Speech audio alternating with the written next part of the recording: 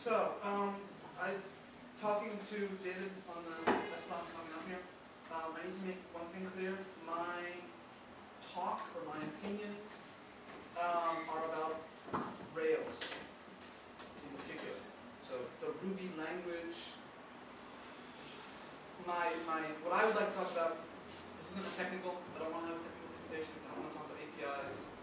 Um, all languages suck in different ways, all APIs as well. Um, but the Rails in particular community and the Common community, which also has these issues. Uh, just a little bit of background. I currently work for DeskWanted.com. Uh, it's a small startup in. We build tools for co-working spaces. Um, we're based out of Data House, and the first version of DeskWanted.com was written uh, 2010, and done in Ruby. Uh, yeah. Um, by uh, basically by myself. Um, the second version of Desk Wanted was rewritten from the ground up uh, over the last six months, and that was done in Common Lisp. And that's kind of how I feel like I can talk about the two sides of it. I have been a Common developer much longer than I was a Ruby developer, um, or Rails developer. Um, and I am definitely talking about web applications. Can you call him up to me? Tell him I'm busy. Tell, tell him he told me to come, so he should know. Thank you.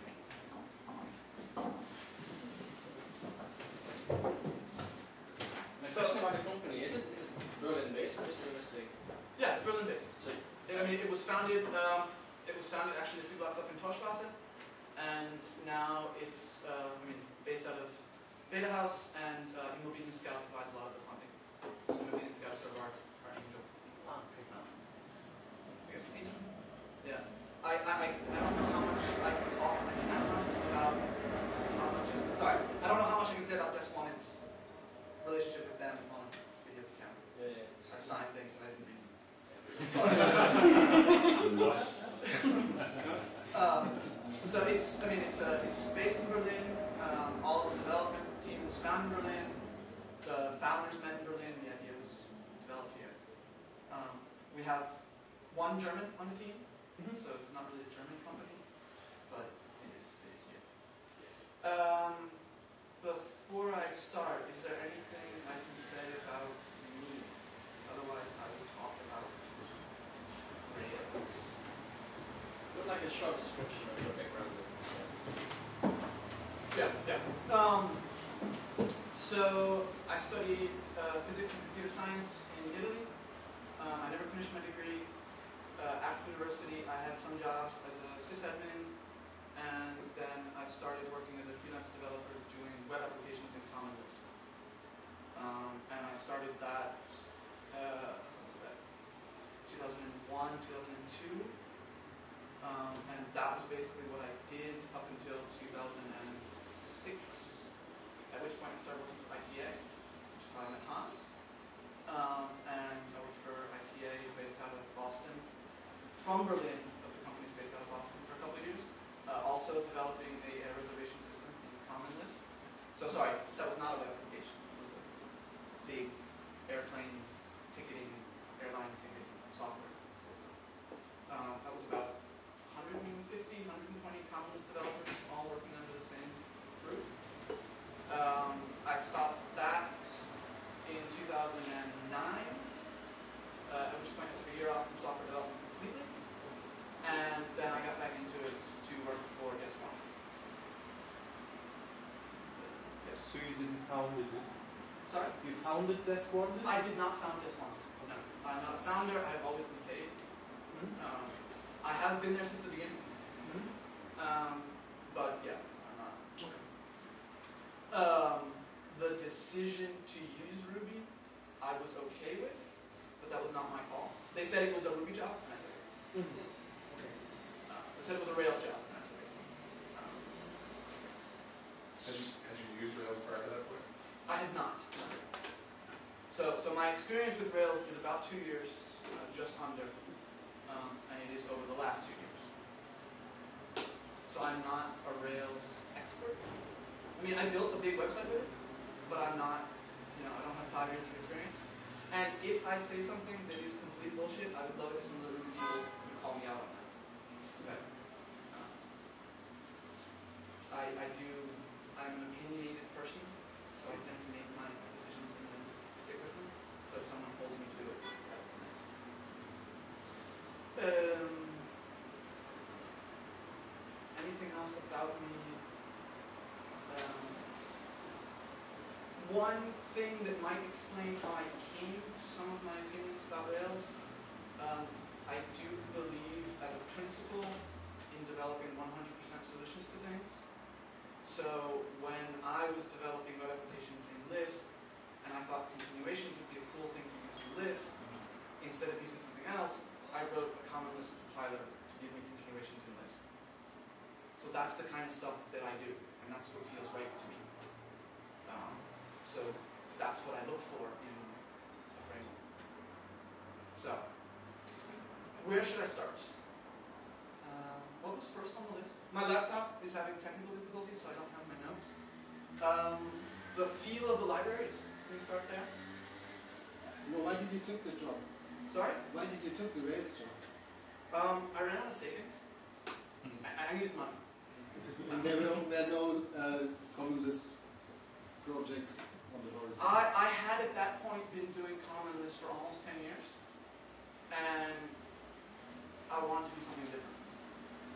Um, there is, you, you can fall into a hole if you do the same thing, um, and you don't, if you don't use something daily, you don't really get to know it. You can play with things, but you have to really force yourself to use it to do something to really learn it. And I felt that I was at the point where it was Common Lisp, you know, I, I knew it. I was I was proficient.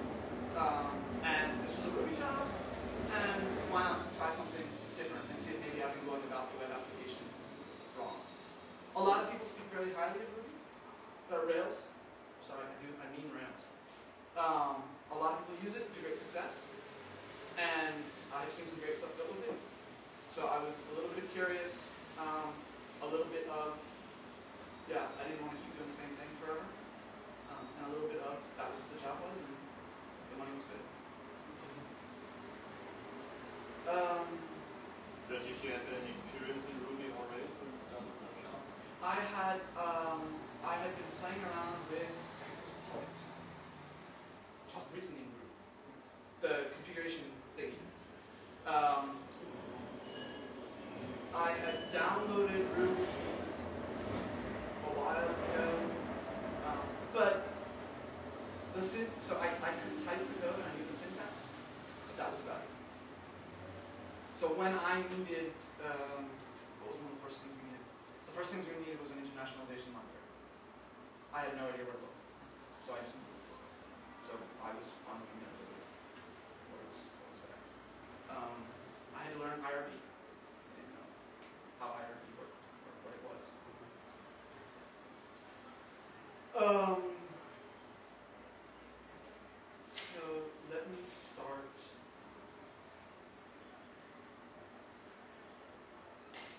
The Rails was chosen by my bosses. Um, with was fairly clearly told they weren't sure if I would be sticking around very long, and I mean, this was a friend of a friend who said, "Yeah, this guy can program. Let's hire him." And they wanted it done in something that other people knew, and they are not technical people. Um, they have a lot of friends in the startup scene, and a lot of their friends spoke well of Ruby. Um, I do not remember yet what the company was, but there was a company that had very vocally used Ruby that had just gotten $15 million from some VC. Um, and they wanted to do what the other people were doing because the other people were being successful. Most of them. Well, the ones that end up in the newspapers at least. Uh, the other ones you don't talk about, so you don't really notice them. But they came from a context of those people successful, those people are using Ruby, let's use Those people using Rails, let's use Rails. Um, And the so what did we start doing with Rails? Desk Wanted was initially a search engine for co-working spaces. Um, I don't know if anybody knows what a co-working space is. I don't want to get into the whole description, but a desk that you can rent for a short period of time, relatively short. Think of, let's pretend it was a hotel system. Works just the same for this conversation. Uh, what we built initially in Ruby very quickly was a way for you to upload the data about your hotel, because the users of Desk Wanted are mainly people who own these places, and provide a public listing and search function for people who are looking for desks or hotel rooms, if we want to go with that metaphor.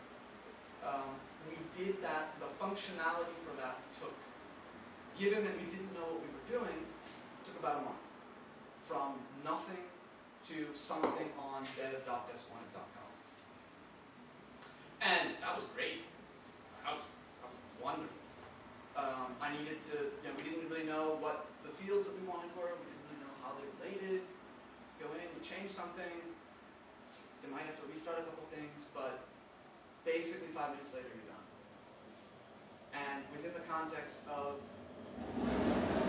building a web wrapper around data that is related to itself, uh, Ruby let us get up very quickly, and it let us test out ideas very quickly.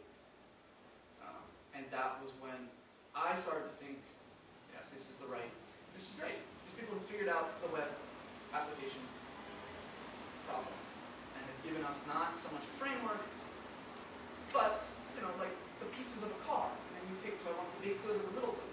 Do I want four wheels or do I want two wheels? I just put the wheels that I want. And I have to know how cars work to do it, but basically, you know, I have the thing done. Um, and so that was great. And then we started to want to do things that Ruby does not make easy.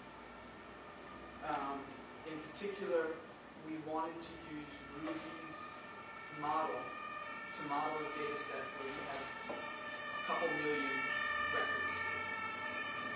And all of a sudden, many of the, sorry.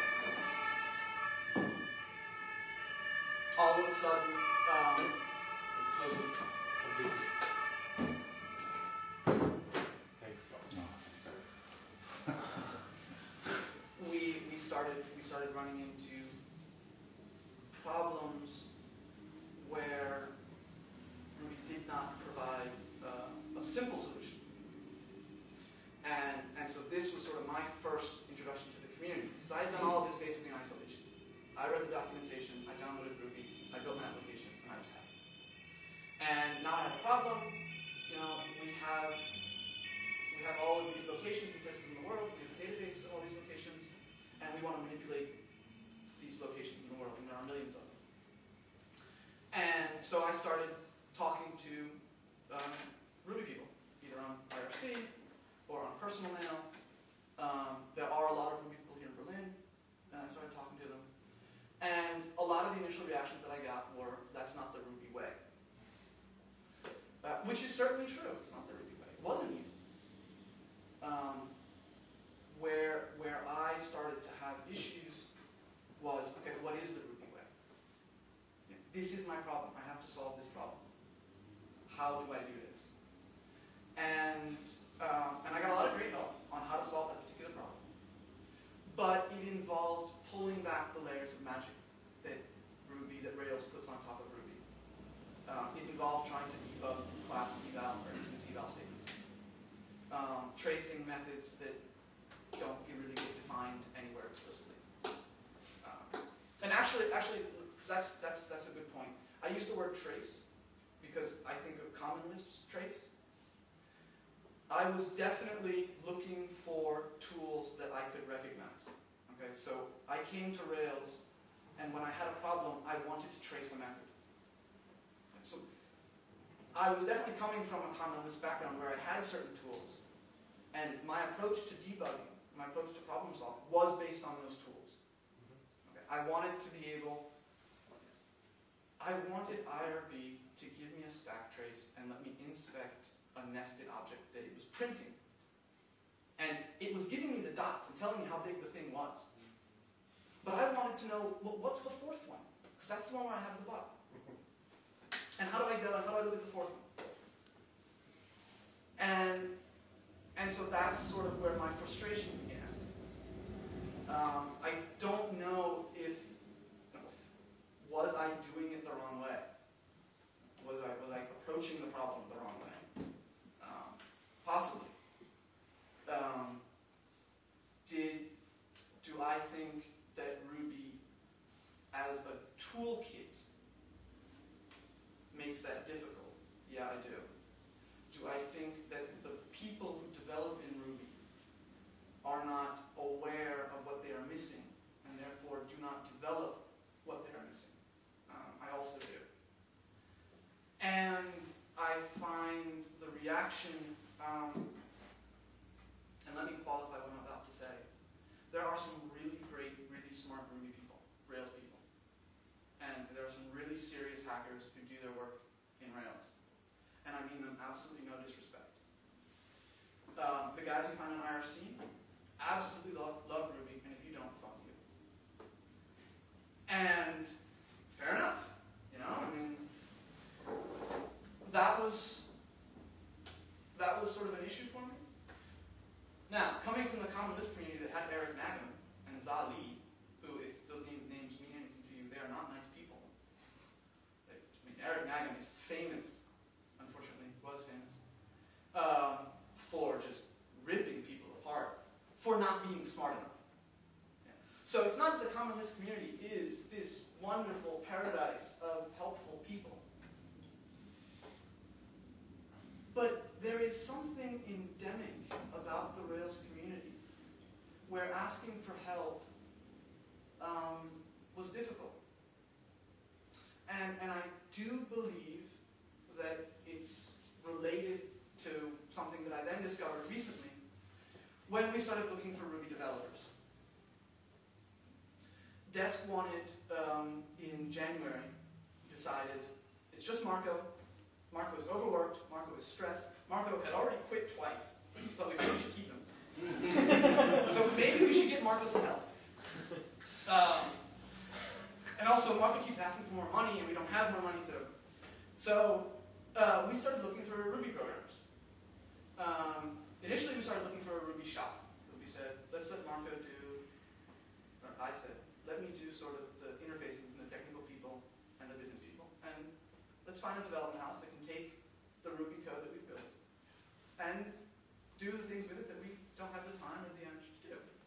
And they'll pay us, and that's why we have financing, and great. The, a lot of the Ruby people that we encountered, and again, you know, that we encountered, so it might be different. Ruby was, they were comparing Ruby to Java, they were comparing Ruby to C Sharp, they were comparing Ruby to PHP. And, and for me, that explained a lot of their enthusiasm for Rails. But I found myself constantly repeating, you know, Rails isn't the only thing that's not Java. And, and I definitely, the dynamicism, the malleability that Rails has, that Ruby has, the things that it lets you express concisely, and then you can write code to take your code and write boilerplate. I really think that's great. But the Ruby way of doing it does not allow that to be debugged, and it's not structured. And when, when what is the code that you get referred to when you look for a library, when that starts concatenating strings as Ruby code and evaling it, I, I agree with the goal. I, I totally know where you're going. Um, that's not how I would approach it. But that's because I wouldn't be using strings in the first place. I wouldn't get to that problem. And and when I was having this discussion with people with you know four or five years of Ruby experience, which was about the most experience we could find in a Ruby packet, um, there was I was unable to explain why that for me was an issue. I was unable to get across. I was unable to justify why I didn't like that. And I think now I can. You know, know, it's been six months. I've had time to think about it. And it has to do with the tools that Common Lisp gives us that, well, it's not just Common Lisp, I mean, it has to do with being able to have a structured way of modifying your code. With, when it comes to languages, the Lisp family of languages, let's say, I can macro expand things. And the macro expansion exists as an entity that is then seen by my debugger, by my development environment. Um, Can someone open the door, please? The phone. The phone thing and the left button for the left. That's it. when it when it came to Rails, um, I was unable to find that, and and attempts at um, with certain people. And again, you know, maybe I just didn't find the right people, or maybe I didn't look hard enough. Um, I was unable to, to explain why this was worth the effort that I was asking people to give me to help do it. You know, I want you to change your libraries so that I can get a record of what you're doing. Why? You don't need that. Uh, print statements are enough. Or if you're debugging it, just read the docs better. That's in the docs. Read the docs. True, you know, and and maybe I was maybe I wasn't able to understand. Um, but this is an opinionated talk. This is my experience, and I wasn't able to understand. Um, and I wasn't able to explain why that was a that was a problem. So that was that's sort of what I want to say about the community and sort of what I said about the feel of the libraries. Um, I I just I don't I like the final result. I don't like how they go about doing it. And I feel that when things break, it is very difficult to figure out what broke compared to where I was coming from. Okay. Um, can some of the Ruby people tell me I'm wrong? Or, or, or, or, or that I misunderstood? I mean, I can, I can tell you you're right. I think you totally hit the point when you said um, the thing is that I know Common Lisp um, and I look at Ruby from a different point of view than uh, most of the people you talk to, which come from Java background or kind of. I, I have been using Ruby for like five years and I haven't missed until I come randomly started to play with Common Lisp like a couple of years ago, and, and then I said, this would be good. But until that point, obviously, if you don't know anything, any tool that uh, works that way, it's difficult to just uh, miss it if you have never seen it. enough. It's described as the Blub paradox by Paul Graham. Right. So, You can't, you can't see, you can't see up the, the hierarchy of, of language features. You can only see down. Just- Please. Oh, watch out. there's some place, not much, but there's some place.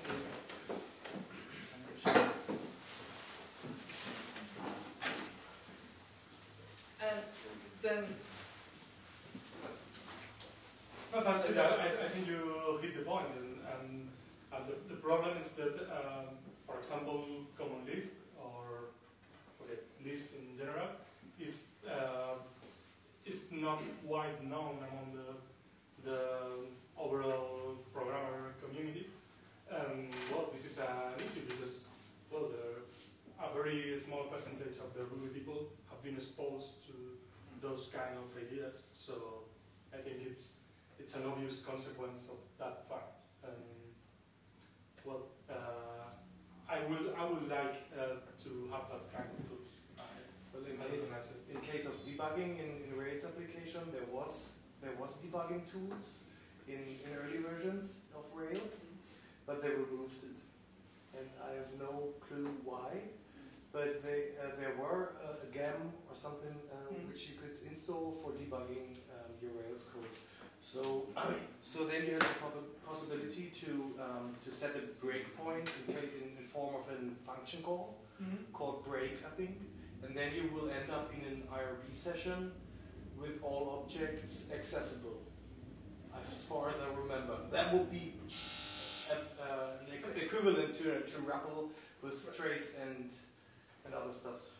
I, I don't ex, I wasn't looking for, no. I wasn't looking for slime. Okay. I, I would have settled for less. That would have been perfect. Yeah, I, I know it was hard to find, and I know that it exists, but I haven't used it. I, I just a few community sessions, and it was about two years ago. So But is it not, not a cultural thing too? I mean, the the um, the tools that you use in Ruby are kind of low tech, and and it's it's not well. It's kind of the antithesis to to like Java, where you have all these huge environments and all this automatic stuff. And in Ruby, you have a lot of, or Rails, you have, have a lot of uh, just shared knowledge or no knowledge, uh, but you get things done quickly. So, so it has this hacky approach that also is kind of intransparent in a way. And well, the, the fact that they just removed the debugger because print statements are good enough, enough it's, it's, No, no. it's actually true. I mean, it's, it's, uh, print statements are valuable and even, even with, uh, with Lisp we use them. So it wasn't it wasn't an issue because they preferred uh, print line debugging, but it was I don't know I can't remember. I think it was an incompatibility in incompatibility between um, one point uh, Ruby 1.8 and then uh, 1.9 I think. they didn't find someone to pay for maintaining the debugger. That, that has been fixed. Uh, so the debugger is there. It's, it's not it's not as powerful as as it would be in in Lisp Okay. for obvious reasons because But it's there. because the, the code is is form of strings. They're about, about and they're then it vanished. So Right. for, uh, by definition, it's Yeah, impossible to do a debugger like you could That's- do in, in Lisp. And I don't know very much Lisp. but well, it's it's there. It's it's it's a bit low tech, like you said, but it's there. Mm-hmm. I think this, this comparison is not, not entirely fair though, because uh, uh, the, the Ruby folks just, just do more uh, more unit tests and uh, uh, and they don't rely as much on, on these dynamic things. So they they tend to uh, uh, they, they would argue then that, that you should write a test which exposes this problem before or in, uh, uh, in, in not in the running application but in, in, in, in the tests code. And And then, obviously, the, uh, uh, the, the debugger you, you, you have there has, has never uh, uh, been any, anything like like uh, Lisp debuggers, I think, because you, you can't really see the code.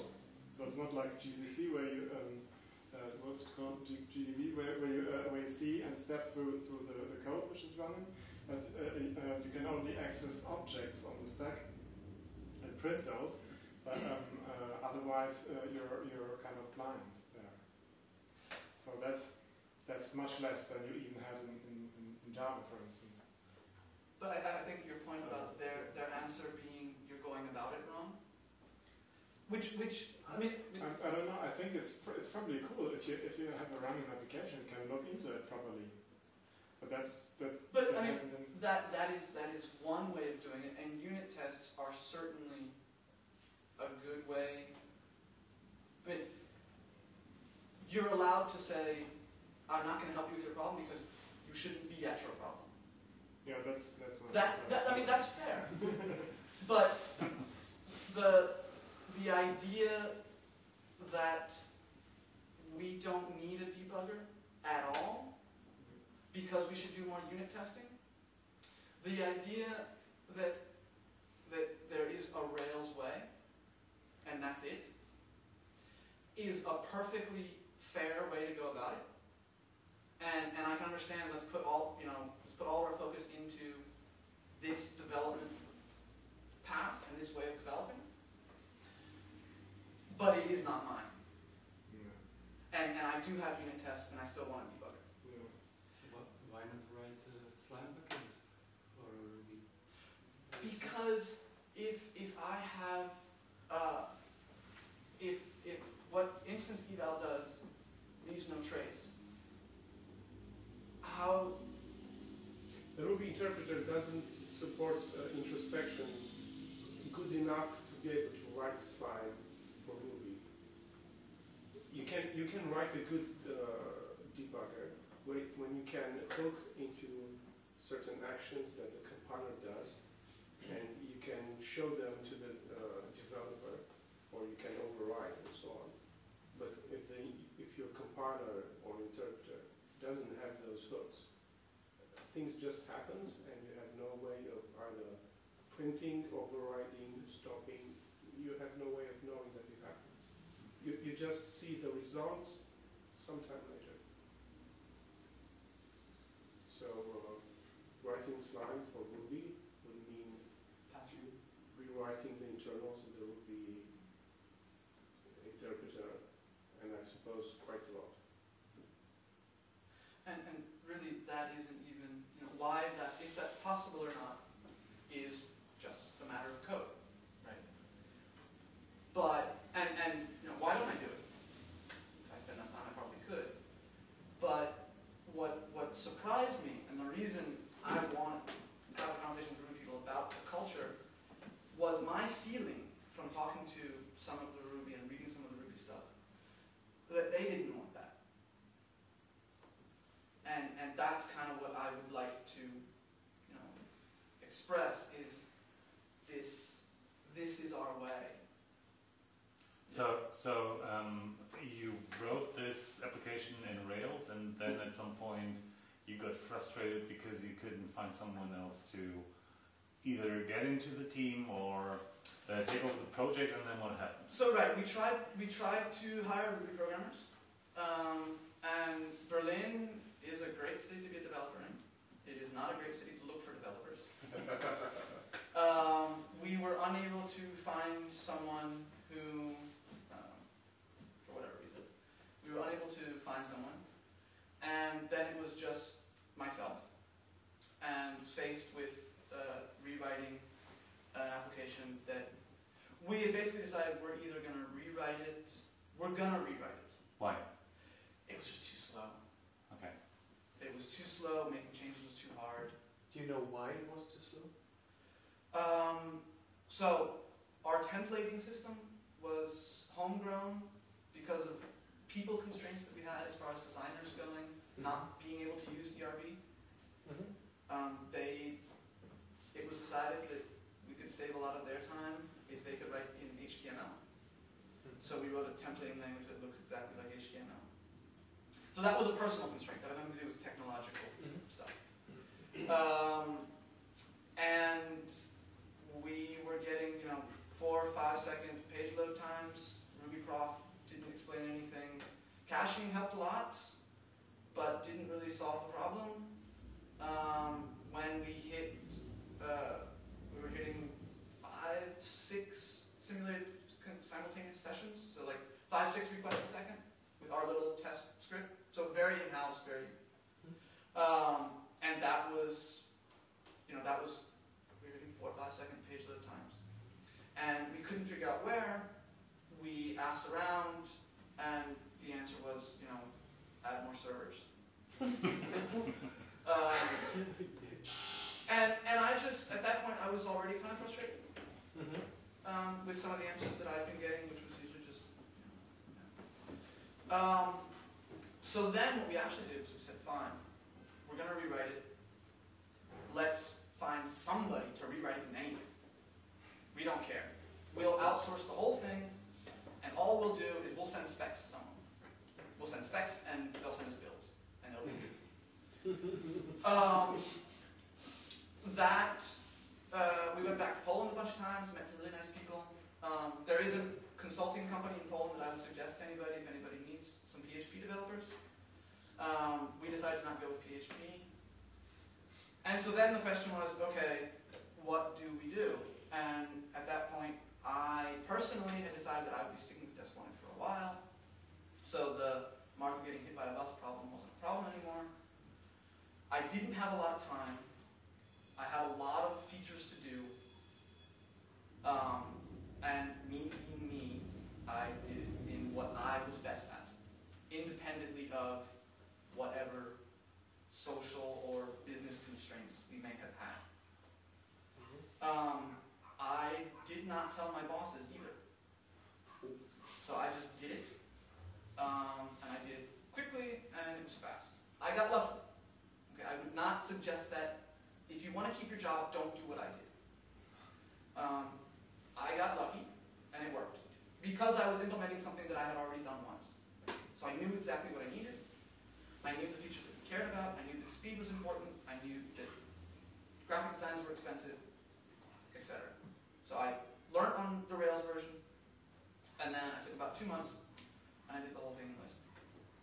Um, and then, what for me was the major test, we hired an intern, um, who was a guy who's really smart, quick learner. Uh, unfortunately, he's watching the Ireland game tonight, so he said he can't come, but he was invited. And um, we gave him the code. And I was really worried that he would just look at it and sort of faint or not understand it. Um, and he definitely had problems with the syntax and stuff. Um, but he didn't have problems with the code. Um, he doesn't write it, but he can understand it, he can read it. And just as a point of reference, I him some of the Ruby code, just to look at, you know, I was curious. So for a day, Sean looked at the old desk wanted. And it wasn't any more understandable to him. It was, yeah, Did you, did you, well, with, with Rails, what you get is like a huge framework and a lot of shared knowledge that you, that you use to, to write the application. Did you do that with Lisp or did you just start from scratch? Um, I don't really understand the question. Well, did you use anything except like an HTTP server in Lisp to rewrite the application? Um, so we used Hunchentoot, Hmm. we used uh, Postmodern. Mhm. Post, Postmodern It's PostgreSQL. Yeah. is a PostgreSQL specific uh, ORM. Okay.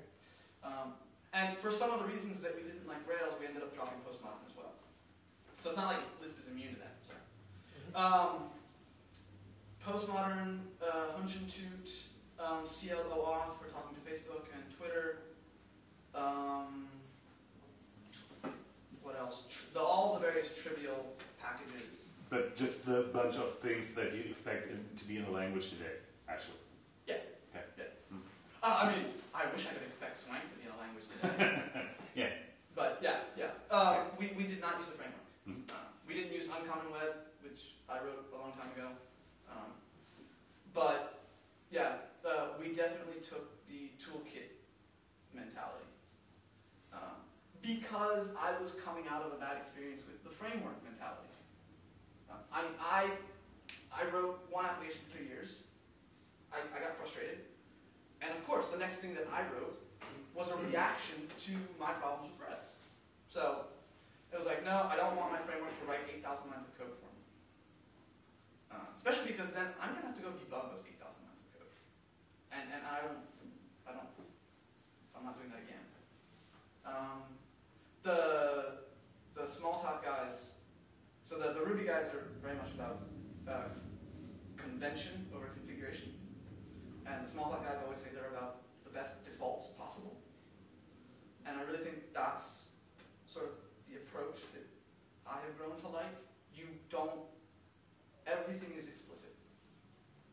Uh, our, our framework is not a framework, it is a great toolkit for building web applications. Um, and so we built it as a collection of pieces that talk to each other.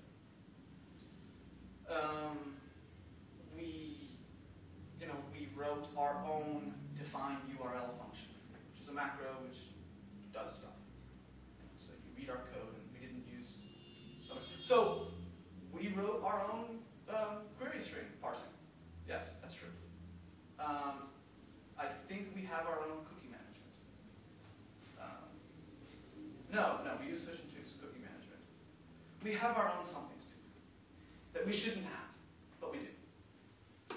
Um, so that's sort of the problem with doing it with the Lisp version. There's a lot of code in there that really shouldn't be there. I mean, email sending should not be as hard as it is. There should be a send this email, I don't care how you do it, make it go away. And Mel Mel base is I think what we're using. Yeah.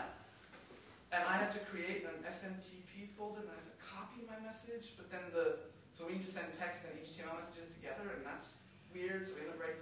We wrote our own um, RFC multi-type alternative. Because you didn't know cl-mime existed, or you No, because it breaks on some of our. what? Yes. yes, we broke it. Okay.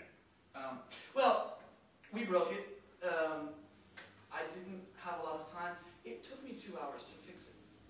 It took me two hours to write my own RFC generator. Um, but did you did you use the the same uh, templates? We did. Oh, that's nice. So you basically replaced just the backend for the same templates and well, same same-ish templates. So same-ish. Um, the original templates had uh, Ruby code embedded in them to get at the various properties of the objects that you wanted to replace.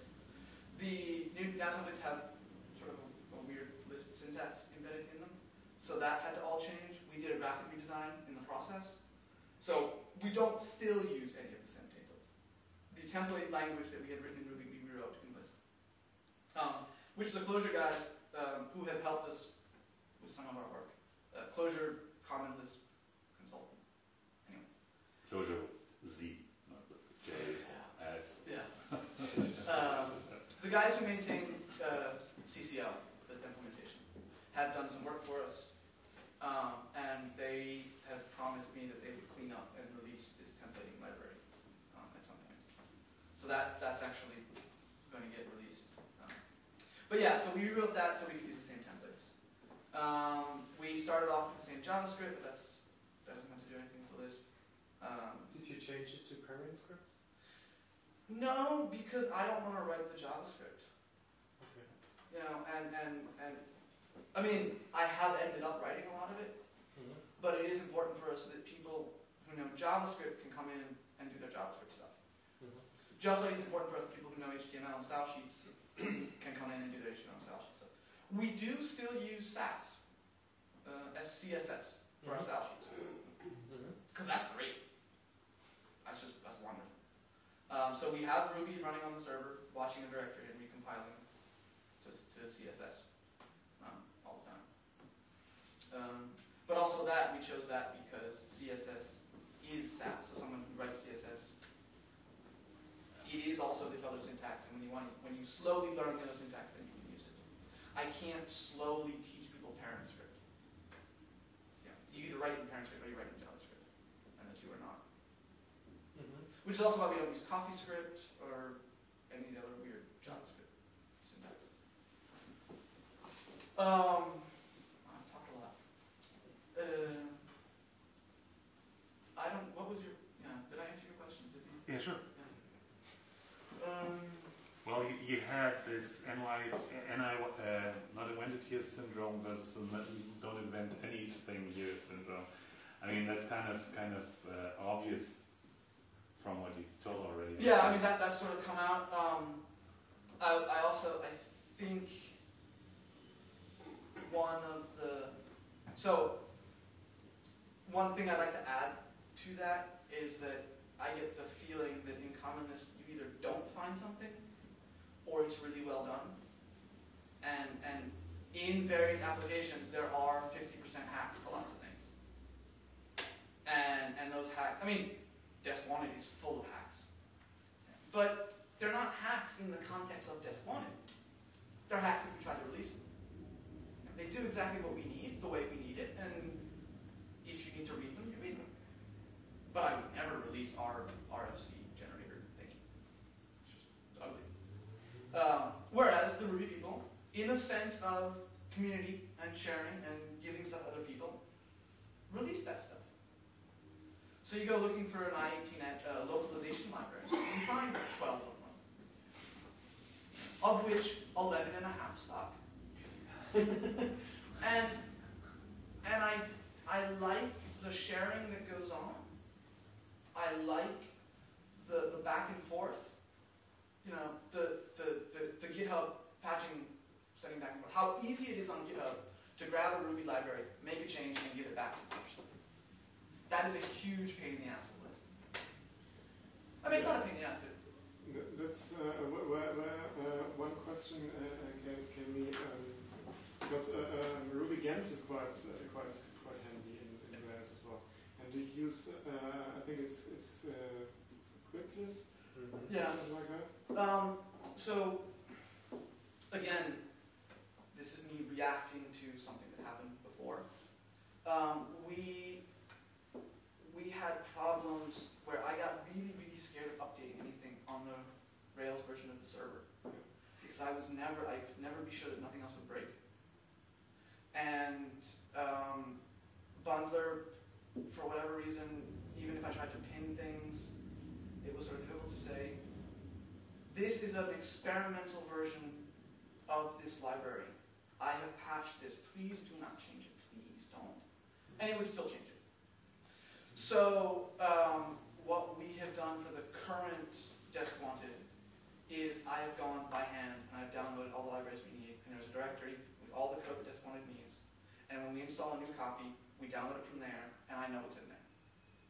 And when I need to update something, and I don't usually, I update things when they break, then I go and I change that. And that is not because Gems is broken or even a bad idea. Gems is a great idea. Um, and I wish we had Quicklisp, you know, five years ago. Um, but But then it would be broken today. I mean, yeah, so You, you think it would be worse today than, than five years ago? No, I think I think package management systems have a certain lifespan and then they just deteriorate because because they are getting too big and the original maintainer is not there or uh, Yeah, it- are in there. So, so it's, it's, it's really something that you can see all over and all over. It, it works for a while and it works very well and then, then you see the point where it just starts breaking. does, has anybody tracked how many hours Zach puts into Quicklisp? I don't, I don't have no idea. It's, I I- think I it's, it's a weekend per, per month. Yeah. And, and what it gives you is just a snapshot that at least compiles together, and that's, that's worth a lot. It's, it's, it's a good starting point for that third party directory that you just collect your stuff in that you use and then not, not touch it for a while. How, how does it compare really with uh, Ruby Is it is it same thing? No, it's centralized, it's totally centralized, and, and, and it's released in a monthly fashion, and Zach, the guy who owns it, uh, well, makes sure that everything compiles together. So, so the, the interdependencies are uh, working, and you can be pretty sure that whatever is in there works to some extent. And that, that's really worth a lot because, because that has enabled um, using libraries much more than, than, than we had before. Because before it was always a pain to find the libraries. And all these bigger things had these huge lists of versions that you needed to download. And, and I'm Hunchentoot maintainer and I killed the whole section on what you need because you don't need it anymore. You just install it and it works. So it's, it's, it's great, but uh, it's, it's painful for the one person that owns it and it uh, doesn't well, I don't, I don't expect it to be the, the, the, to the end solution. It, it will, it will be ending sometime in the future. I mean, like in So a it's few years. releases of this whole known library of Yeah. useful things. And they are all distributed from, uh, from uh, Amazon. So, so you never have any download problems or anything, so we can just open the window. I mean, mm, maybe, do you have any, well, do you want the list again, the why I wrote Ruby? Well, I mean, I mean, this, this is this is great the way it's gone, but Yeah. I am dying. So let's take a break and open the window and uh, just open up the discussion. There's beer for two euros there. Yeah. Can I have one, please?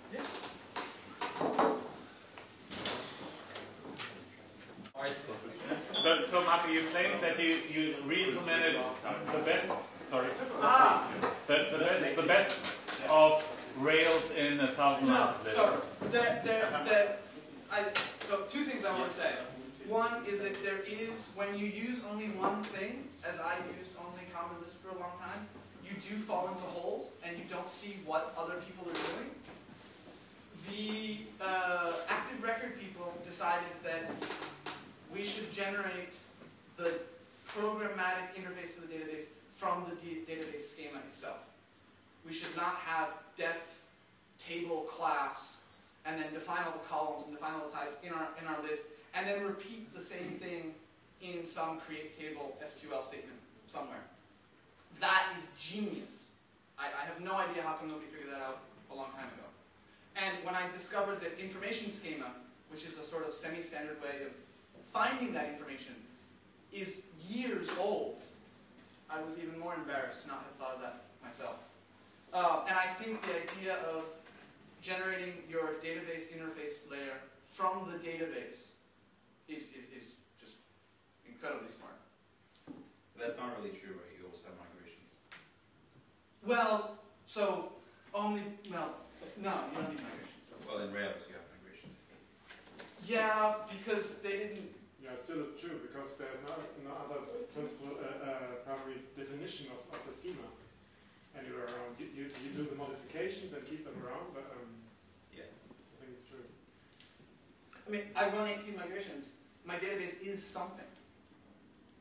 Yes, but it's, it's a, I mean, migrations over the, like a long running project, right? Right. We have like, uh, you know, hundreds of migrations of adding columns, removing columns. Right. And then you get essentially like these event horizons where people stop maintaining uh, migrations and are just like, oh, after this point, it's no, there's no more going backwards, right? Because there's so much complexity there and how the migrations have evolved over time.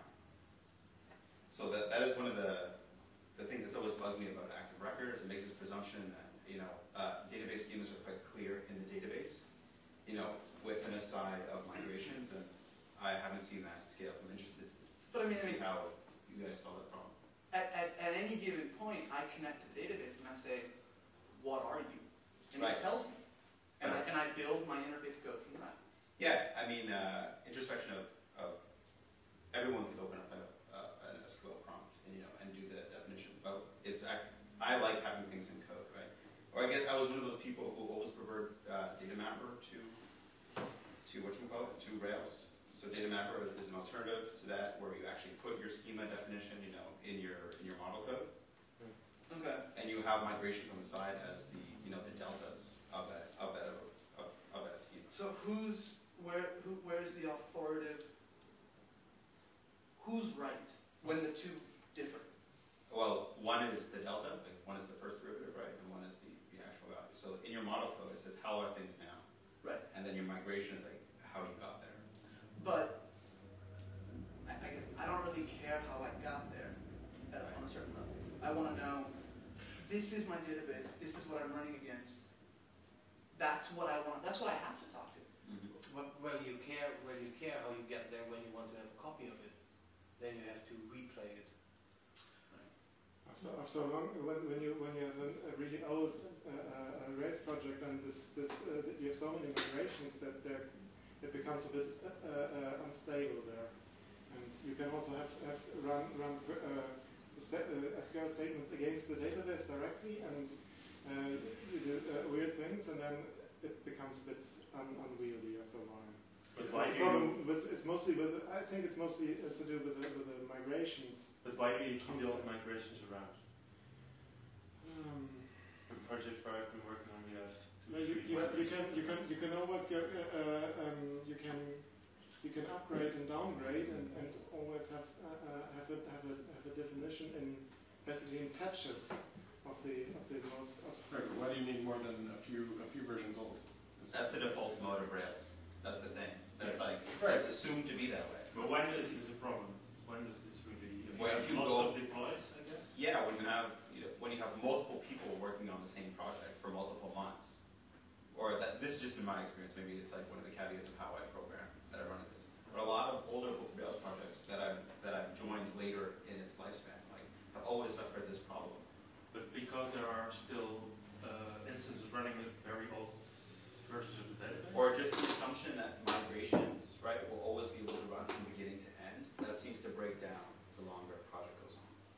There's also it, it can happen that you, that you have changes in, in the database and you can't uh, uh, uh, you have you have some suddenly SQL somewhere which wouldn't run on uh, on another Exactly. version and things like that. It becomes really weird. But Marco, well, one of the uh, Lisp impetus is uh, we write everything in Lisp, so we just write a something like a class definition in Lisp and deduce the, the database schema from that. And what you say is um, that you are now switched to the mode where you introspect into the database and uh, uh, like define your uh, your list model from the database. It, it, turns out SQL is a much better language to write relational database definitions in than Lisp. Yeah, that's true. I mean, I mean, yeah. surprise, surprise. Surprise, yeah. I mean, we do generate a lot of lists from that SQL. Um, we, we generate a lot of update, insert, select statements. We do a lot of joins. So we, we generate list objects with the right joins, but it's all generated code from the from the schema. So, so you express um, the the relations between the tables and uh, the well the, the N2M relations in the database, and then uh, uh, deduce your your in-memory model from that. Or No, no, it's much stupider than that. okay, Uh, it's, it's, no, it's, it's, it's, it's a very thin layer. Mhm. So there, the end to end, there is a, uh, a list object in the middle. Mhm. Um, even the one to end is an array of the other objects. And you have to tell it, please fetch all the other ones. Because if you don't, it, it won't. Um, so it's, it's, lazy. hmm? It's lazy. No, because it won't do it automatically. You have to tell it, go get those. Yeah. Well, that's what. You So like- what, what do you mean you're lazy? Who's lazy?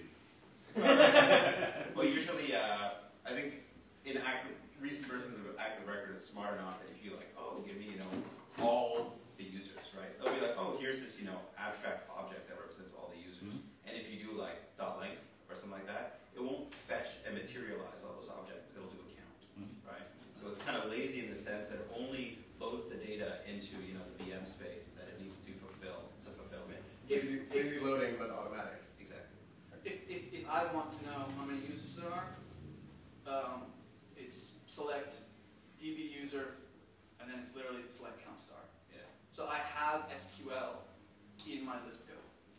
Sometimes it's represented as there's a nice syntax for doing that, so that Emacs can then like swap things around. But effectively, I have SQL code in my in my code because my data is not. I, I'm not. My data is not a relation of Lisp objects. So my, my data is tables and columns, and that's Yeah. how my code manipulates data looks like. So I end up writing, you know, big chunks of SQL in my code. yeah. And that, I guess that allows you to, you know, not suffer the, uh, the impedance mismatch when you switch into things, more advanced features like stored procedures. Right, because there isn't a Yeah. mismatch because I don't Yeah. try. There, it's, it's not. We actually call it. It's a relational object mapping, not an object relational mapping. We do not put. we do not. We do not try to map the list object model onto the Right. database. We make it relatively easy to map the relational model to what are effectively arrays of arrays, and that's as far as it goes. So when you when you wrote uh, that you re-implemented uh, the best of Rails in 1,000 lines of Lisp, what what would that include? Uh, that was generating uh, query selectors and CLOS objects from the DB schema. Okay. Which, when I was going through, that was the one part of Rails that just struck me as being brilliant, and I hadn't seen that before. And everything else in Rails, I had in some form or another already encountered, and it fit together, and, and it worked, but there was nothing fun. There was no, there was no fundamentally different approach in how Rails looked at the problem. Whereas when it came to Active Record or AREL or AREL, whatever it's, I Active relation. this idea of let's not even try to define the model. Let's ask the data, and that just makes sense. Of course, the database is the model. Well, yeah. So that that was that was the part of, of, of the Rails framework that really struck me as being new and interesting, and that was yeah, about a thousand lines of Lisp. Uh, can uh, can you explain why you why you, why you didn't see um, this uh, continuation based approach fit in this, or explain how, how it works really because I don't have a clear idea of what it really is. It, it makes so that I got interested in that approach when I was writing an application for doctors and nurses in a hospital where they had a very complicated flow through a web application. Mm-hmm. Um, these were, in particular, these were questionnaires that would take hours to complete, and every step depended on certain factors from previous steps. Um, for example, you know, the canonical example is I have, uh, an, and this, this was well before Ajax, this was well before JavaScript was anything more than on-click equals alert or something. Um, so everything was done server-side, everything was done statically. And the problem that I had there was how do I maintain the state of this flow? How do I deal with people going back through pages, changing their answer, and having that affect the next three, the, the next three pages? And to that, being able to pretend that a web request is not an asynchronous thing, being able to pretend that I can read from the browser and have that block. And I can, I can write my code as if that waits until the user answers that specific read request. I mean, I would not have been able to complete that project without that kind of simplification. Um, when it came to the case of Desk Wanted, uh, Desk Wanted doesn't need it. And I was already, I mean, I was already kind of worried about using Lisp at all. Um, I wanted to keep it, you know, as close to what already existed as possible. And we would not have gained a whole lot. Some, some of our parts of the management flow might have been easier, because there, there is a sequence, and going back does influence what comes later. But, you know, we can fake it easy enough. So when you have kind of like a tree of uh, of, of screens or something. When, when you want to be able to sort of time travel in your web application, you want to say, let me go back and pretend I did something different, but keep this reality active. If you have continuations, you can clone two browser windows, and you can follow two different paths simultaneously, and it'll all just sort of magically work. And you look at your code, and it's a linear step of things. But your browser windows, you know, you're just messing with history, and you're going, you just go back. How, how does it look in code? Is it is it like like one uh, function which basically It's, it, it's literally a read from browser. Sorry? Read from browser. And you get a, you, you, you, that sends out an, an HTML page with a form in it, and you get the form values back. When that particular page, as a consequence of the pages that came before it, responds. did you call something like write for client or something like that? No, no. We, we maintain, uh, okay, it has been a long time since I looked at Uncommon Web. Um, So that what the continuation is is basically Yeah, how does you, you, you make, you, you make this call, you make this call, and then that that stack that you're in sort of gets stored somewhere, and then later it gets pulled up as if it had returned without without having gone away. Like a VCR, frozen VCR. Now that you can resume it multiple times at Right. the same point. It's, it, it is your, your, your, your stack, your dynamic stack, is an object that you can manipulate. That is saved somewhere in a, in Hmm? a, in a, in a, in Yeah. a hash table or in a Um, actually, we got to the point of being able to serialize it, so we could dump it to the database, and then and then bring it back. Um, I mean, the, the, the, the level of, I mean, we ended up we wrote a common Lisp compiler. You know, I Like for fun? Well, I mean, I got paid to do it. It's like a quiet Tuesday evening, and you're like, "Hmm, yeah, I knew this. Um, Sorry. so there was a. That's, so you do the macros, right? Uh, sort of. That's like chapter two of SICP or whatever. That's like, oh, now you know the syntax, now to make your own. No, it, it, you tend you tend to get there very organically. You, tend to start small, and and you start with doing it all by hand, and you start you know you start writing functions where you say, okay, I could write uh, continuation passing style, which is this this way. Every time I send a request back, I'll copy the state that's interesting, and I'll say, when this request comes, here's the state up until now, and then do this. And, and I'll have that for every single request handler. And then you say, well, that's just stupid because this is always the same. So then you'll write what ends up becoming a very big macro, but what starts off as a little macro to make that easier to write. And then you'll make the next piece easier to write. And then you'll say, you know what? I'm about a weekend away. If I just implement, if I just have handlers for if, let, funcall, and lambda, I'm good. And you've written an interpreter. So, so, so you write handlers for if, let, funcall, and lambda. And you're like, great. And then you want to call out to another function that uses macrolet. All right, fine, we'll do macrolet. You're like, well, I've done macro, I'll do macro. And then really your load time value, eval when, you're not far, you're not far from taking linear code and just saying, you know what, do it. Yeah. And then you realize, okay, well, the code that I generate is literally megabytes, and I managed to blow up SBCL's compiler because it can't handle. It. But then you say, okay, I'll fix that. It's you never sit down and say, I'm gonna implement a continuation passing style transformer of common Lisp. Right. You find yourself one day and you say, you know what, I'm that far from it, so you do it. But of course, compiler writing comes easy to this programmers because you start out with macros, and these are Right, you- basically little bits. I mean, it's it's not. You don't sit down and do that. You Well, just And I mean, what are you compiling into? Like you're not. Lisp. I'm compiling from Lisp to a Lisp that I was already basically writing because I was doing it by hand. But it's not, so it's not like you're writing, you know, machine code or something. It's not that kind of compiler. No, no, it's not. It's not. It's more like an annotator in the case of continuation passing.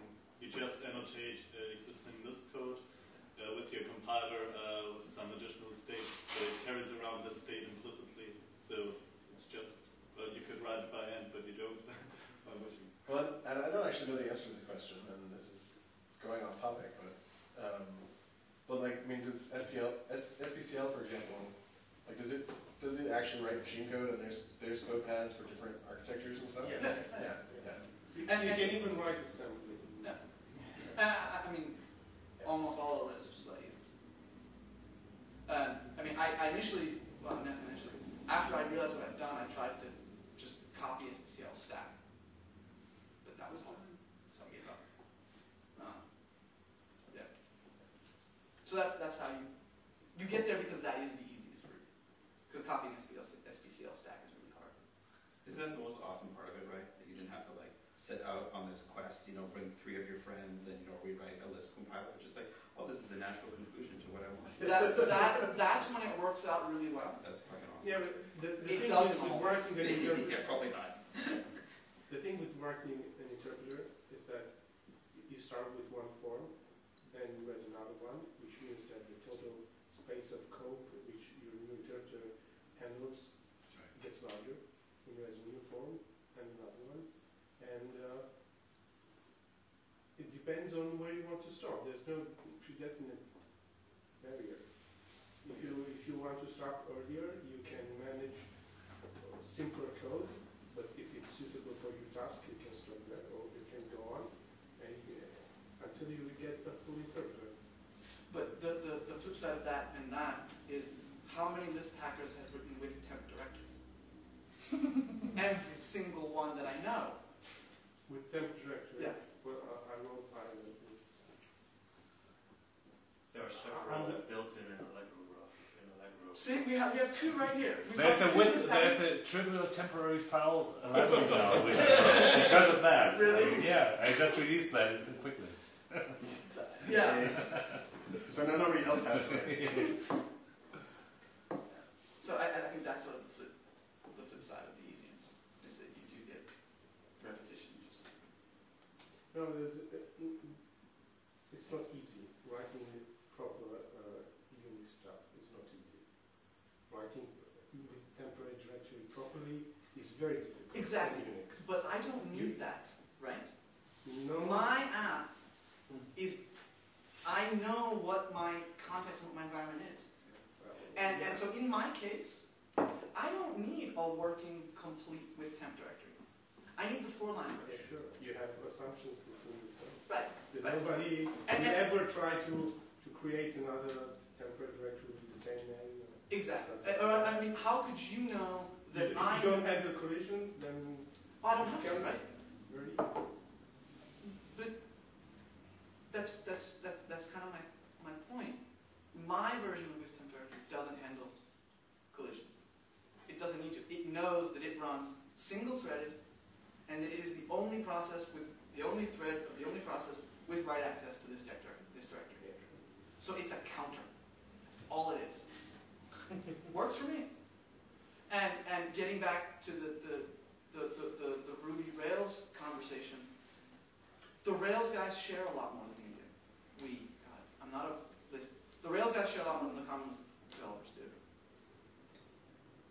Because it's the, the, the, the bar for them is a little bit higher.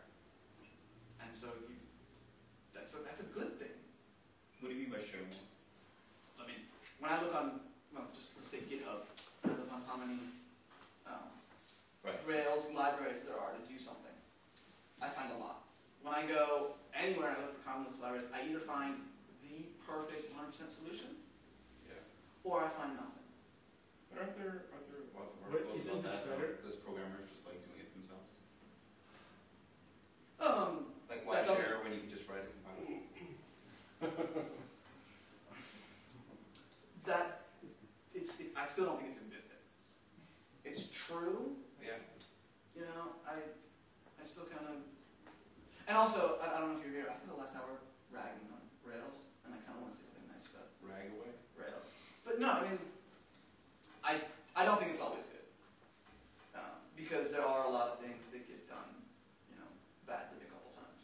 Yeah. Well, and I mean, you know, you have you have stuff like this that, that has a lot of subtlety and complexity to to really truly get right. Um, that you know to to to do it well, you know, takes somebody putting a lot of thought into it. You can get an eighty percent solution, you know, in twenty percent of the time, twenty percent of the, the effort. But I know for me personally, I would rather find, you know, a hundred percent solution or, or a ninety-nine percent solution and use that than take twenty percent of the time to write the eighty percent solution. For me personally, that, that that's my take, which I think is Well, one, one thing with, with Lisp is uh, that many Lisp hackers don't want to release something that is not perfect. Because a lot of Lisp is really perfect in a certain, well, if you have a certain view on things.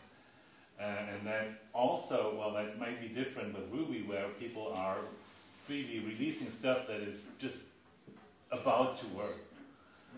And that's a good thing because it actually shares uh, knowledge and shares uh, uh, projects, which doesn't happen that much, that much in the Lisp community because people are so, so like um, obsessed with. Yeah, my, my, my, my next talk will be called Why Edi Weitz Destroyed the Lisp Sharing Community.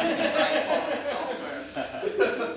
Yeah, but just look at Hunchentoot. It's so awesome, awful. It's it's just a total mess. You are using it, so you, you will probably not uh, say something different. Yeah, But again, but again, back to this point of, uh, of to share or not to share. Right? When Rails was released, it was far from perfect. a mess. It was it was a disaster, right? And yet it was you know a little mini cultural revolution in its own space, just because it got more people making things that they would not be making. You know, if you forget about programming for a second and think about like just technology that could have been, if maybe uh, Smalltalk or or one of the Lisps just sort of like became more punk rock, became more DIY. I don't know. And isn't that really the appeal of Clojure, right? Is that people who write Clojure code, it can be perfect, but it exists in an imperfect ecosystem that has things like Netty and uh, you know these rock solid libraries that get that you know that really really hard problem like fsync. Does anyone want to you know implement fsync in Common Lisp? Not really, because that is a hundred percent case, right? That's really really hard. What, what do you mean by that? Like fsync, like the syscall, like the thing that makes sure that things are on I know, disk. I know. Yeah, like, th- that's one of the really hard problems with computer science and coordinating fsyncs is why, you know, some databases are good and some databases are shit. Yeah, but I, I know it's, it's difficult because uh, sort of part-time DBA. Cool. So I, I know ext3, how to mount it, or use XFS, or use. The problem with, if you go the, that down below the kernel, is that you, you, you have these syscalls that have the same name, but they don't behave the same. Yeah, they You behave have- differently on different uh, file systems too. Yeah. You have lots of stuff that more or less says it will eventually do this, Exactly. but with what with what uh, performance you don't ever know. But I Yeah. think I think your point is that uh, Clojure has an advantage in using the JVM, which gets world-class support and support by people that are really paid a lot for doing things right, and that's that's an advantage that neither Common Lisp nor Ruby have. have. Yes. I mean, we, we are basically volunteering to do things right, and we are arguing endlessly about little things, while the Java guys are just getting paid for implementing specs, and That's why I, in implementing libraries, I go look at Java, not at their API, but at their engineering, at their implementation. I copy the implementation. That's but smart. not, but not the implementations down below, uh, especially for stuff that uh, used to be written by the by the, the experienced guys, some developers themselves, and so on. That's really good. Down below, the interface is horrid in Java, but especially now that we have OpenJDK, uh, browsing to the code is awesome. I've written Java compiler instead. Sorry. I've written a Java compiler in Common Lisp. you, you too. There's, uh, there's another one. Uh, David, uh, David, I thought you were meant to David say that. So, so what happened? You were like, oh, I need to download, you know, Yeah. the JDK 7.1. It's like license agreement. it's 4 p.m. I could be done by the time Jeopardy's on. Let's do this thing.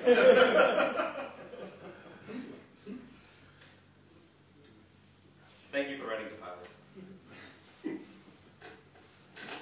So I sometimes got the feeling, are you a Ruby programmer? No, not anymore. Were you? Yeah, sure. Can I, can I ask you a question if you were a Ruby programmer? It was probably Ruby, like, God, I used to program Ruby too. I got, um, so I am, I am, I am me, so it's sort of that caveat. It's, it's, um, I fucking hate the rockstar programmer sort of mentality. Um, I don't like, you know, I have a job to do, I want to get it done. Okay. And, and I have a very boring, serious approach to that. And when I, when I hear people talk about programmers as if they were rock stars, I kind of gotta ask myself, don't we have work to do? Well, Rockstar programmers, like the people that are hiring, you know, Rails developers to make better forms are, you know, making forms and they're not programming F-Sync, you know. Yeah, but they're the rock stars. Well, not the F-Sync guys. they The get- F-Sync guys are in a basement somewhere. Exactly, you know, and those are the guys, like, that's what this gentleman does, that's what I work on, you know, like, and that is, uh, not very glorified, right? Right, right. Which, which, which is also rather wrong pissing me off about the rock star programmer. Big. I mean, don't worry about it, right? There's the, the, like what we talked about before Rails, right? Uh, as being like the advent, like the technological advent of Rails, was that things that you know were very difficult that required people thinking about not F-sync but similarly complex problems. They didn't have to think about. They could just like make their fucking forms. And that's fantastic for people who want to make tons of forms, you know, and they want to have you know activity feeds and blah blah blah blah blah. And that, that's that's fine. And it's cool that you know we live in a world where tons of people can you know do different uh, permutations of essentially the same three features. That's, but we will outgrow that, right? And there are other things that we need to do. Alright, so what did Rails, and, and I- I'm not asking this personally, let me ask this as a general. What, what did Rails free us to think about? Like, What the application is possible, like what's possible for the application to do. Yeah. That's what it freed us to think about. It's like, stop thinking about how to write a web application and start thinking about what can a web application do. Right? And, and have you seen, um, there's a talk, and I forget the exact title of it, but it's something like, something on principle? Yeah, I don't know. that's Bret Victor's uh, Yeah, yeah, yeah. principle. Inventing a principle, thank you. Um, have you seen the talk? uh, no. Okay. I'll- Stop what you're doing. I'll send you, yeah. Go watch the talk.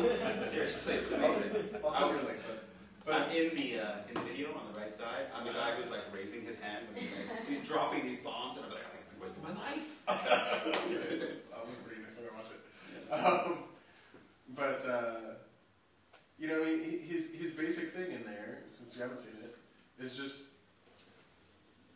shrinking shrinking the separation between a creator and and their creation, right? And and and and and trying to make it so that so that you have.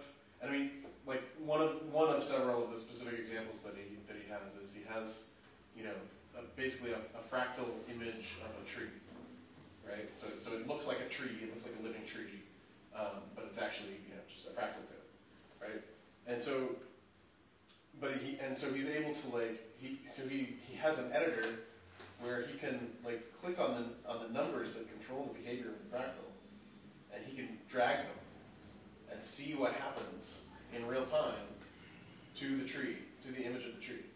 Right? So the tree is redrawn in real time, and he's he's not typing numbers. He's he's Dragon.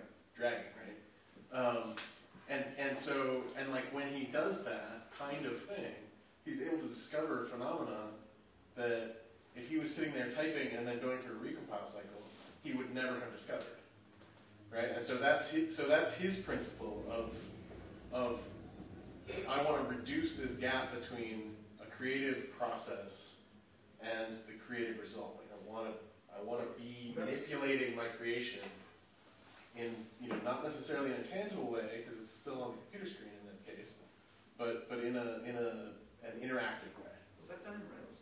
No. but but but I think I think Rails did Rails did the same thing Yeah. in a sense for web applications. It reduced the barrier. Like you ha- you, you didn't have to go through and think about. Well, wait. So I got okay. So I need to know SQL to do the queries, and I need to know you know like I need to figure out how to get it right to get you know inserts and updates and whatever. And like you stopped having to think about any of that. And you're just like, okay, yeah, I want, you know, a name and, a, you know, a comment thing, you know, like I'm writing a blog, the right? Like, like there's a comment and then, you know, whatever. Um, and you just go and write the app and, and it's there and it's ready and it's going and it's live. I think this is what Common Lisp as a general purpose tool also accomplishes. It shortens the, the distance between uh, programming and seeing results. But that's not a, that's not part of the common Lisp. That's like, well, Lisp is awesome for that, But right? that's But the only idea of because it allows you to go, like, there's another article that Victor writes, uh, climbing up and down the lattice of abstraction, right? So you build the abstractions that are best suited to express Yeah, what you're you have to defining say. your own language. Exactly. So Lisp, phenomenal at that. But, but this doesn't make that easier. Exactly, you get lost in all the decisions that you can make and how endlessly you can improve it. Yeah. Yeah, it's an art form. You just Yeah, that's so you how don't you results, you just But, but I mean, I mean, if you know, if, if if we're gonna go with that analogy, then like, you know, Rails is the color of the numbers. Yeah. You know, and this and, and this is like eggs and pigment, and you have to make your own tempera. It's like, okay, and then I will go cut down the tree to make the paper to make the canvas. But I'll have a tree compiler. well, you know, that's it. Well, and, and, and that's, that's the thing, right? You, you, you write the tempura maker, or, or not tempura, um, tempura, Tempera, whatever. You make the, the, the, the paint, whatever it is. Um, you might you write the thing that makes it, and then you have it. And and so then later But you won't you can you can Well, and and, and that's the problem I think with, with this community. Uh, that's- this is- Um, just, just really quickly, can I personally answer any of these questions? Because if not, I'm gonna go back on the balcony for a second. Does anybody want to ask me anything? Because I talked for a bit. Uh, yeah, um, have you had any success yet hiring people that do this for that job? Um, so, yes and no. Um, I, we've gone through a lot of people. We, we've talked to a lot of people.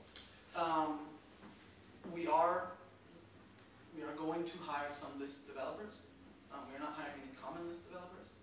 Um, finding good developers is really, really hard. And good developers, independently of what they already know, are really quick learners. So finding someone who already has common Lisp experience, not a big deal. Finding someone who has enough interest in the technology and in the tools to have by themselves gone out and learned a Lisp. I don't care what you know, I want you. Because you are the kind of person that I can give you a job, and if you don't use Lisp, I really don't care. You know, I need, I've got business people telling me these are your tickets to do, get them done. So the kind of people who come and say, yeah, you know, I played with Lisp, are also the kind of people who say, yeah, you know, I've also played with Erlang, or you know, maybe you should try this weird thingy. Um, so we're hiring Lisp hackers because they're just generally and and we're not hiring any common. Uh, we're hiring one guy who has some common experience, but um, the overlap between good programmers and common Lisp programmers, it tends to be. Well, I mean, the same thing would be true if I said Erlang, if I said Haskell, uh, if I said Smalltalk. Um, I just happen to know this, so that's where we started. It's kind of interesting because I I was talking to some people that you know were thinking about starting startup, and um, you know there was they were non-technical people as well, so they were um, that question came up what, what technology to use, and I was making the point that it's probably a good idea to go for something that sticks out, like if you do Rails. So given that it's hard to find developers anyway, no matter what technology you- you're using, you can just as well pick something that is cool. We, we, we, we put out a bunch of um, we put a bunch of ads. Um, yeah, so we put out a bunch of ads uh, when we were looking for Rails developers. Um, and initially, um, a lot of the responses we got back, either the first line of the response was, I'm 100 euro an hour plus Umsatzsteuer. Um, Who? 20, plus 20% of that uh, sales tax. Um, Sorry. you know, My German's not so good. or yeah, so I mean, it, it, it was it's very much uh, us uh, a, if you're the developer, it's a buyer. It's very much a developer's market. When we put uh, when our offer ended up on Lisp jobs, we've gotten people who are like, yeah, I'll fly up from Italy tomorrow. You know, interview. Right? Here's one of them. There was another one there. Um, We've gotten two guys from southern Germany who are like, yeah, I'll move to Berlin if you guys are looking for full-time people. I want to use that. Or we've gotten people like, yeah, you know, I'm not a Lisp hacker, but I've dabbled a little bit in Lisp. But you know what? I wrote, um, what, oh, what did he write? Um, I wrote a real-time um, high-speed trading finance server in Erlang. And you know what? Just let me, let me, let me write in Lisp, and you know, we'll work out everything else later. And and so the quality of the people has, has just gone through the roof. Um, that's not anything against Rails, it's just everybody knows Rails, everybody wants Rails. There's no filter there. You go for Lisp, and okay, a lot of people who are in it for the money are gone. And that's been very good for us. That used to be the story of Rails, but Yeah. yeah, Ruby is very used to be very esoteric. Like what was Ruby before Rails? There's ten years of history Yeah. there that no one really. Yeah, I, yeah, that's, like, I don't make the distinction. If, if, if I may, non-technical people should not start a technical startup, but I'll keep that. So,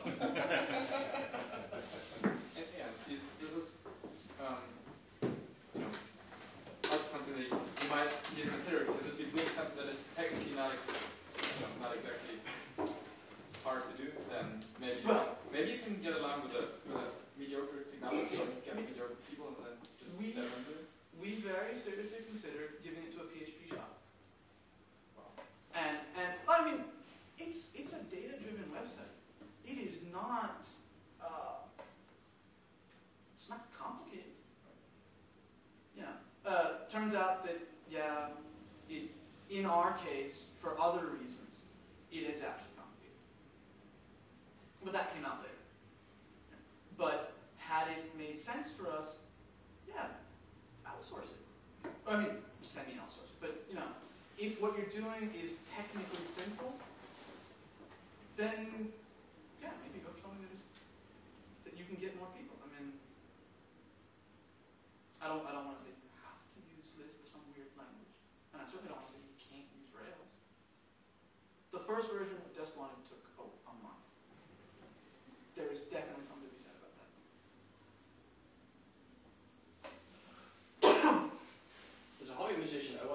wanted for rehearsal rooms? So we're working on um, team rooms and meeting spaces, and since everybody that's wanted, except for myself, plays in a band, that will probably come up soon enough. Do you play in a band? I do not. Okay, so uh, he is also one of the new Desk Wanted people.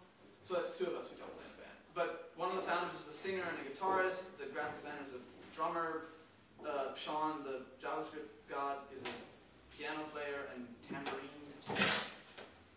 We'll, we will definitely. One more and you guys can start. We're competing in the uh, the Berlin Startup Battle of the Bands That's a thing. every year.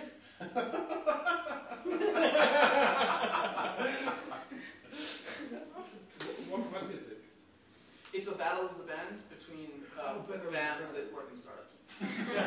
or between startups actually, because the band has to be made from the. No, I, I missed the word band, so I thought it was programming It's band. just a battle. It's just People with knives made for keyboards.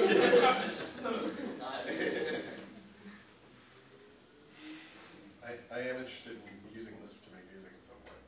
Overtone. Overtone is good. Looks awesome. It's built on SuperCollider, SuperCollider is very awesome. Okay, I'll check it out.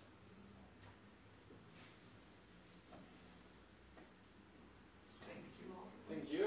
Awesome.